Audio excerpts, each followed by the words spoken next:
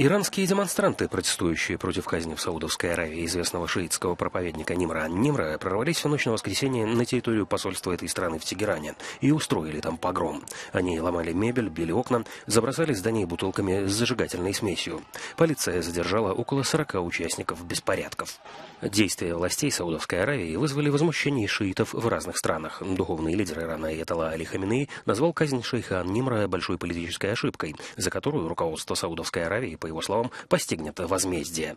Наблюдатели считают, что этот инцидент приведет к обострению противостояния между шиитами и суннитами на Ближнем Востоке, где уже сейчас Тегеран и Эр-Рияд вовлечены в два вооруженных конфликта в Сирии и Йемене, поддерживая противоборствующие стороны. В самой Саудовской Аравии десятки демонстрантов организовали марш протеста из деревни Эль-Авамия, где родился Ан-Нимр, в город Эль-Катиф, скандируя призывы к свержению правящей королевской династии Аль-Саудов. Шиитский проповедник был арестован летом 2012 года по обвинению в подстрекательстве к массовым акциям протеста и беспорядкам. В октябре ему был вынесен смертный приговор. «Почему бы вам не напасть на другое государство?» – вопрошал Ан-Нимр в одной из своих проповедей, обращенных к властям. «Почему вы нападаете на нас, несколько десятков бедных душ? Если за нами стоит другое государство, атакуйте источник проблемы, атакуйте Иран, и тогда посмотрим, на что вы способны».